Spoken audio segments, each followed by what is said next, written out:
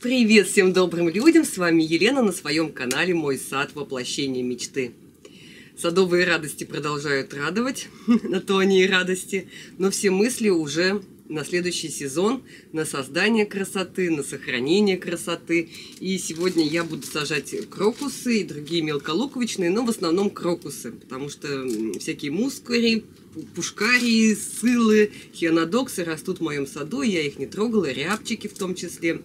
Я их не трогала, и они так и остались, остались в земле. Вот хочу вам похвастаться, что я докупила для своего сада из мелколуковичных.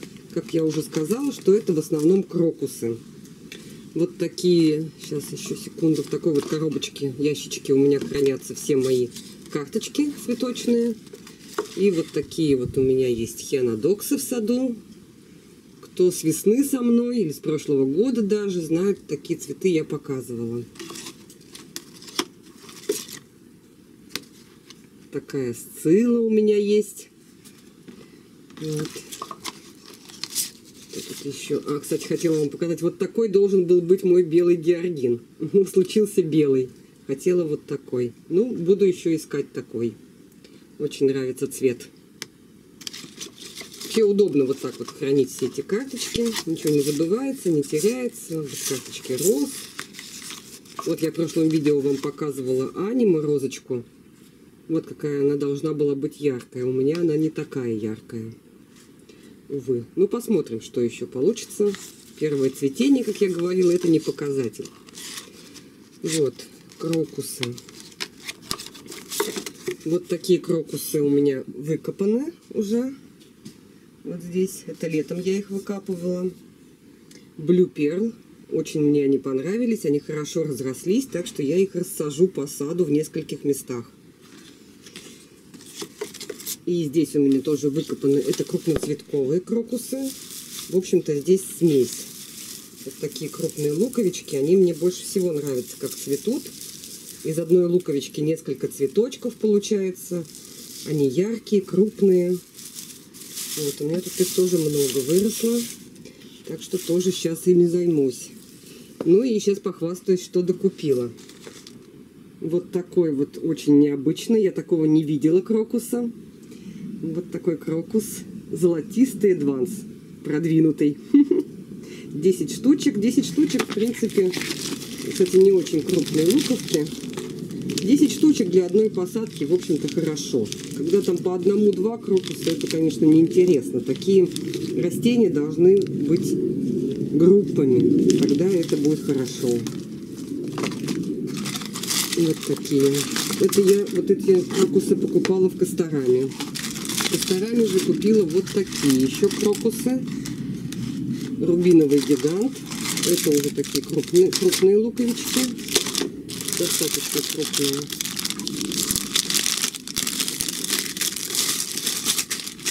По 5 штучек в упаковке. Две упаковки я купила. В Леруа Мерлен я купила вот такие крокусы. Крупноцветковую смесь. Здесь 25 луковиц. Это, в общем-то, такие же, как вот, вот эти вот мои крупные, то, что я вам показывала. Очень я ими довольна. 25 штук. Кстати, что-то очень недорого я их покупала. Это в Леруа. И вчера еще в Верном, у нас тут рядом есть универсам Верный, я купила 10 вот таких вот луковичек. Сорт Пиквик называется. Тоже в смеси они есть. У меня такие выросли. И я была ими очень довольна. Красота. Ну, я думаю, достаточно мне крокусов для моего сада. Так что я сейчас займусь посадкой посадкой. И для этого я еще купила вот такой вот пакетик с удобрениями. Не пробовала ни разу, рекомендовать не буду. Это будет испытание. Эксперимент. Хотя Гера я пользовалась, не помню уже чем, но вот этой фирмой пользовалась и осталась довольна. Ну, по крайней мере, без нареканий. Наконец-то я купила себе такую сажалку. Давно-давно у меня в мамином саду она была. Ну вот сейчас я купила новую. В Костораме на распродаже. Полная цена у нее была 400 рублей, я купила за 120. Очень такая она легкая, то есть не тугая. Там были и подешевле, но очень тугая была вот эта вот штучка. Ну что ж, испытаем. Я сейчас покажу. Такая. И палку-сажалку я купила тоже наконец-то. Тоже давно хотела. Для чеснока, для лука. Кстати, по поводу лука, чеснока, тюльпанов, гиацинтов, им еще рановато. Очень верная примета – это лягушки. Если лягушки по саду скачут, а у меня в этом году они скачут, наконец-то вернулись земноводные мой сад. Потому что первый год, когда я полностью убрала все сорняки, все сныть, малину, то есть расчистила участок, лягушки, жабы покинули мой сад, и это было очень, очень печально. В этом году они возвращаются, все чаще и чаще я их встречаю на своих клумбах, и это очень-очень даже обнадеживает равновесие в сад возвращается. Ну что ж, для того, чтобы э, посадить, мне нужно в кое-каких местах освободить уже от цветов землю. И первое, что я сделаю, это я сейчас пересажу свои герани. И вам заодно и покажу. И вот это вот местечко я освободила. И сейчас вот здесь освободила. Уже брала колиусы, бегонии вечно цветущие. И сейчас я выкопаю вот эти вот свои герани. И хочу их сохранить.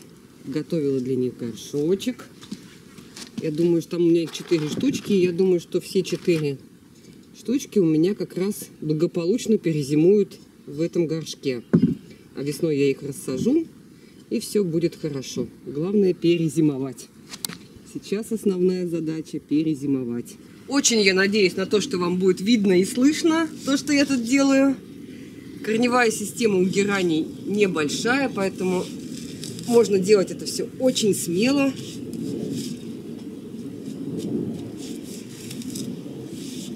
Чтобы ничего тут другое не заделось.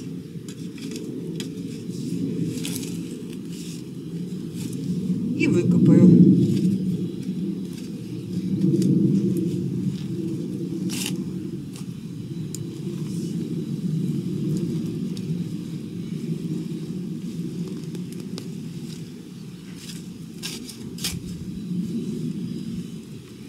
Вот такой замечательный кустик у меня получился. Сейчас я все лишнее с него срежу. И следующий.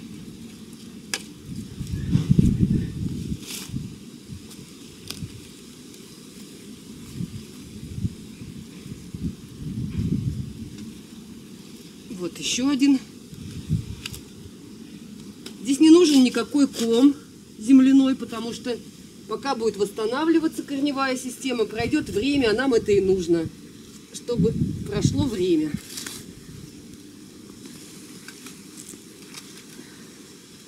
Все чудесно. Раз чудесно. И еще один. Вот сколько я срезала. Безжалостно их обкомсав. Большую часть листьев, конечно же, цветы и бутоны. И чуть-чуть я подрезала корешки. Теперь я их высажу вот в этот горшочек. Здесь уже подготовлено. Здесь насыпана просто садовая земля в смеси с торфом. А засыпать я буду их грунтом компасана. Конечно, идеально было бы, если бы все было бы компасаны, но жирно будет. Вот, в компасане, в компасане есть ингредиент, который стимулирует развитие корней. Так что все в порядке. Не написано какой секретный. Вот. Вот такой грунт. Это универсальный грунт для комнатных растений. Так что сейчас я все это сделаю. Сейчас я их распределю по горшочку. И вот так вот. И буду засыпать, засыпать, уплотнять и потом полью. Ну вот, готово. Красивое растение в красивом горшке. Это уже пойдет э, домой на подоконник. И эта герань теперь 99% у меня будет сохранена для следующего года. Есть у меня еще две посадки герани. Сейчас я вам покажу, что я планирую с ними сделать. Но сначала я вычеркну один из пунктов своего плана. Герань пересажена. Как работать с планами, скорее всего, буду снимать видео, видео зимой, когда уже в саду не будет работ, я вам поделюсь секретами, как сделать планирование эффективным и действительно работающим. Ну а на место герани я посажу вот эти крокусы. И сейчас мы это сделаем. Но сначала покажу вам те герани, которые у меня еще есть, и что я хочу, расскажу, что я хочу с ними сделать. Вот этот знакомый вам дуэт, красное с белым. Он у меня в приличном ведерке в таком, в моем стиле. Так что все вот прямо вот так вот пойдет на подоконник в компанию вот со свежепересаженной геранью. И вот здесь вот в уголочке у меня еще в большом ведре э, растет два сорта герани пеларгоний. Вот точно такая же, как я сажала. И русский размер от русского огорода. От русского размера, от русского огорода я не в восторге, но тем не менее в качестве эксперимента, это будет экспериментальное сохранение герани на зиму. В общем-то, люди так делают, и я узнала об этом способе на канале «Моя надежда». Надя хранит их в погребе в пакете, в подвешенном виде. Так что вот эти вот я попробую сохранить так. Пока не рекомендую, потому что сама ни разу не пробовала. Так что попробуем и посмотрим, что получится у нас из этого. Вот такие вот у меня три способа. Ну, можно сказать, два. Один на подоконнике, второй в погребе. Есть еще вариант, можно было бы в горшке поставить в погребе. Но этот эксперимент я оставлю для следующего года. Итак, место свободно. Место достаточно плодородная здесь почва. Было много органики внесено и неоднократно. Так что сейчас мне нужно просто его разрыхлить, выровнять. Сейчас я еще добавлю сюда горстку вот этих вот удобрений. Это вот я рассыпала на разрыхленную почву пару щепоток вот этого удобрения для луковичных от Гера. Сейчас я их также заделаю в почву, дополнительно еще порыхлив. Очень много здесь червей. А это говорит о том, что земля здесь богата органикой. Ну, оно и видно.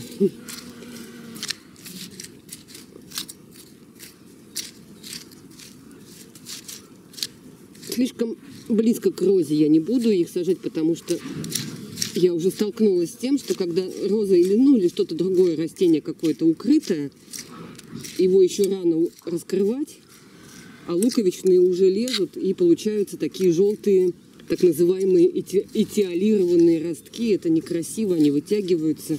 В общем, ничего хорошего. Так что совсем близко к розе я сажать не буду. То есть с расчетом на то, что здесь будет укрытие. Так, ну и теперь уже ставший традиционным способом это разбрасывание луковичек вместе их посадки. И вот сейчас, как они у меня упадут, так я их и посажу. Ну вот как-то так они у меня рассыпались. И вот так вот я их сейчас и посажу. Сделаю отверстие палкой-копалкой и донцем вниз посажу. Стандартно все, три высоты луковички от донышка. Донышко это вот это место у луковицы, откуда пойдет корешок. А это вот верх, росточек.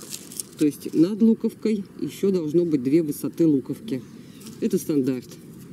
Единственный раз, когда я нарушала этот стандарт и не пожалела, это при посадке гладиолусов. Но я вам рассказывала. Глубокая посадка гладиолусов позволила обойтись без опор.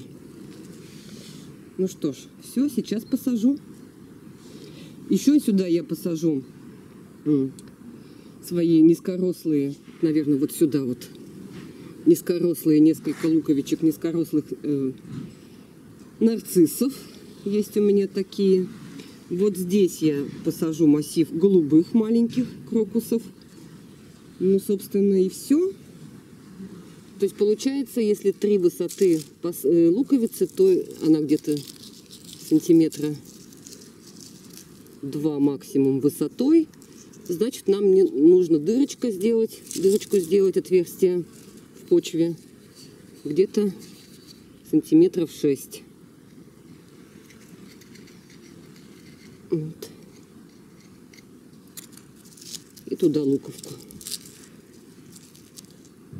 чуть-чуть не сильно вдавливая, чтобы под луковицей не, образ... не было пустот. И вот таким вот макаром Сейчас я посажу их все. Ну, утомлять этим вас не буду. Собственно говоря, ничего нового, необычного я не делаю. Еще хочется мне попробовать английский способ посадки э, крокусов в газон. Но для этого у меня есть крокусы, которые мне не очень понравились в прошлом году. Такие миленькие, простенькие, блекленькие. Вот на них я и проведу такой эксперимент. Кстати, да, вот просто вот этой же палочкой-копалочкой в- траве делаются отверстия в земле, посадочные ямки, и туда помещаются луковички. Попробую я вот так вот сделать где-нибудь, вот там вот, где у меня бегонечка. Сейчас мы на ней где-нибудь вот здесь я так сделаю, где не очень ходи- ходильное место. И посмотрим, что получится у нас на следующий год. Даже интересно. Все на этом, дорогие мои. Выращивайте цветы и будьте счастливы. Пока!